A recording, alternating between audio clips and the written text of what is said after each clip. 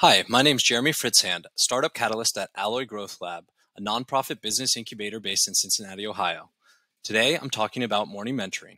Morning mentoring is a virtual pitch feedback session that happens every Thursday from 9 to 10 a.m. One startup gives a 10-minute pitch followed by 30 minutes of Q&A with a group of mentors. The mentors fill out a scorecard and feedback form which is compiled and sent back to the participant. Results are pretty amazing.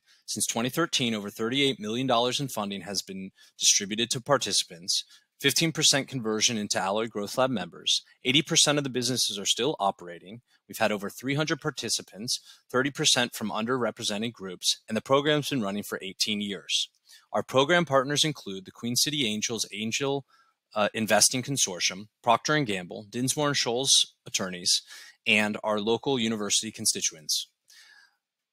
Participants get access to our pitch deck template, which we help them review and format.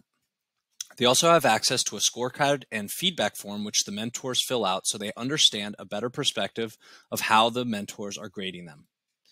In order to prepare for the session, participants first go through an application process. They have one to five prep sessions. They get access to the resources, and sometimes we introduce them to mentors prior to the session to work on their pitch.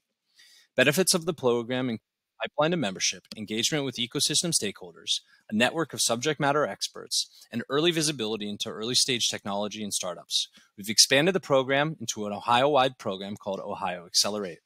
Ways to get involved include applying to mentor, referring startups, and running your own program. Thanks so much. And if you're interested in learning more, you can reach out to myself, Jeremy Fritzhand, or my colleague, Anthony Seppi.